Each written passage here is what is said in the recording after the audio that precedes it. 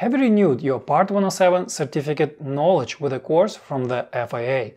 This is a must for all Part 107 remote pilots. If not, this video is exactly for you.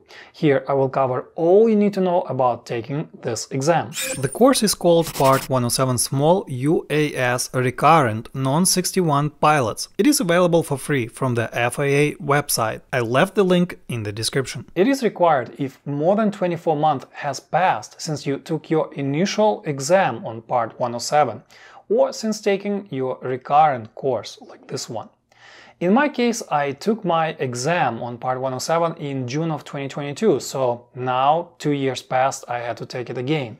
And after I took it a few days ago, I will have to retake this course in June of 2026. The FAA recommends setting aside about two hours to go over all the required coursework.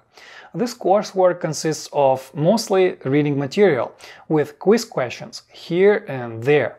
On average, it took me just a little bit over one hour to go over everything. The coursework is divided into two main sections with five modules in total. The first section is called Aircraft and Remote Pilot in Command Requirements. This section has two modules called Characteristics and Requirements for the SUAS and Remote Pilot in Command Responsibilities. The first module covers what the drone is, its weight and marking requirements. The second module covered various regulations aspects of what a remote pilot must do. The second section was the longest one, called Rules for Safe Operation of SUAS. It had the following three modules – pre-flight considerations, operating rules, abnormal and emergency operations. The second module on operating rules covered a lot of material. They were specific to operating drones at night and different categories of drones and how to operate them over people. If you took the exam in 2021 or after, likely you covered all this material that is in this coursework. For me, personally, it was like a rehash of everything that I learned then. Also in this section there was some material on controlled versus uncontrolled airspace and sectional charts.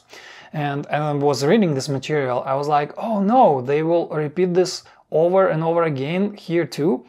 But then luckily no, it was just a quick reminder with some superficial questions here and there on uh, controlled versus uncontrolled airspace. Once I completed my coursework, I was taken to answer exam questions.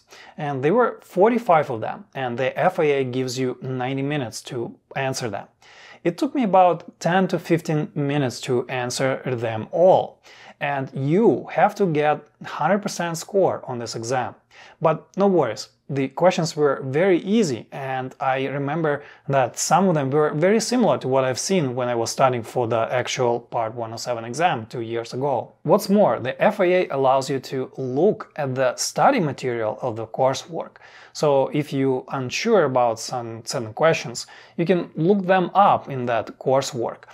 I would say that I maybe hesitated about two, maybe three questions, but that's about it. On the first take, I got 100% score, but I guess if you don't get 100% score, the system will flag those incorrect questions for you, so you will have a chance to go back and answer them correctly until you get the perfect score. Once I completed the exam, I was able to print the certificate of completion for this course.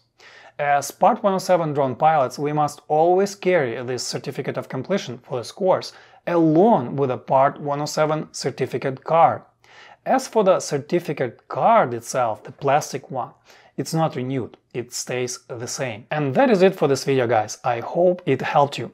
If it did, please give this video a like and subscribe to our channel for more helpful content on photography and travel.